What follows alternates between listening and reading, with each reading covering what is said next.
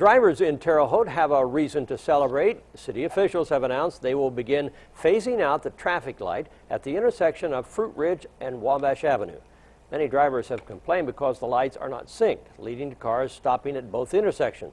The lights will turn to flashing signals on July 2nd. The light will flash yellow on Wabash and red on Fruitridge. Officials say this plan has been in the works for almost a year. They want people to pay attention to this change. The flashing yellow light does not mean that the signal is broken. It doesn't mean that this, you know, that, that we're having a problem with the signal.